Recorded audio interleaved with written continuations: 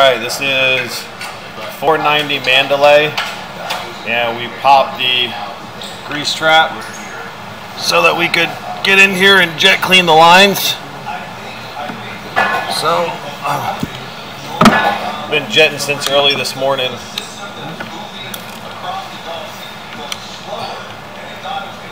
Got a lot of people in the kitchen, so I'm going to try to get a nice video here.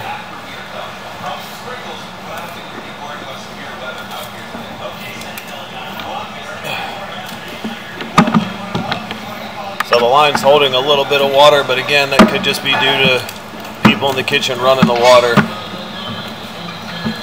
So we'll push on through here and then I'll go turn the water on and we'll get some clean water running if I have to so that we can see. But a whole bunch of huge monster grease chunks came out.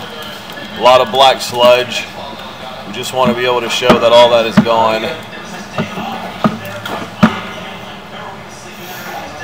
You can see um, it's not a lot of water, but since I'm pushing against it, it the camera kind of bulldozes over the water. The water goes over the lens.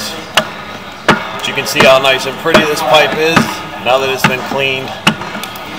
It was just completely full of sludge the first time we were here, and we tried to video it, but it was so bad you couldn't even see anything.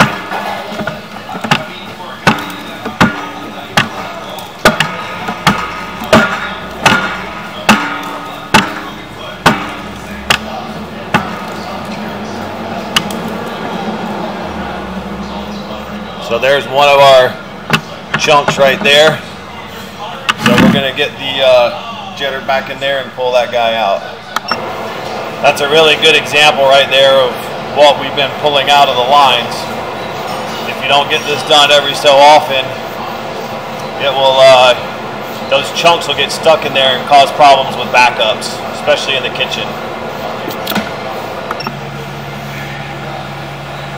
All right, so we changed our head to a uh, rotational spin head, a big warthog head, because of how much grease and debris was inside of this line.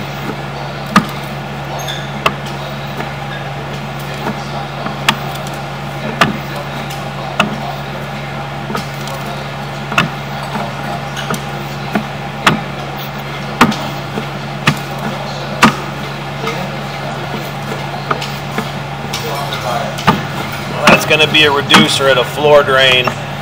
What I want to do is go inside and uh, see if I can get some clean water running in this pipe so we can do a thorough inspection all the way back out. All right, so I'm well, well, well past the sinks.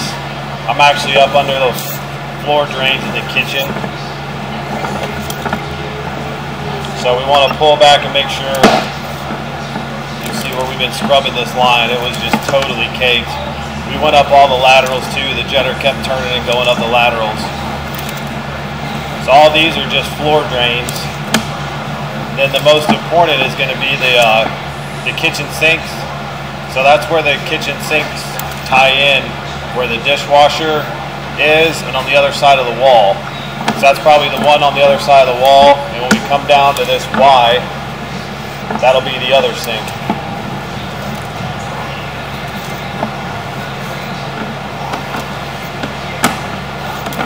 So we got good flow, it's nice and clear.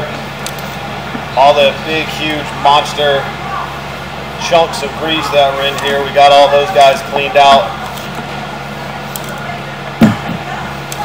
Pipe looks really good now. We're gonna check our flow all the way back to the trap. And they're in there washing dishes, so the little bit of stuff you see on the screen is probably from them washing dishes. We're looking for any big, huge monster chunks like that one that we saw earlier. We're just floating barely below the water level and it's it's flowing great. You can see it's flowing right at us. I got the sinks running full blast. You can see how good the flow is coming into the trap. So all the lines are totally clean. This is Mandalay on Clearwater Beach.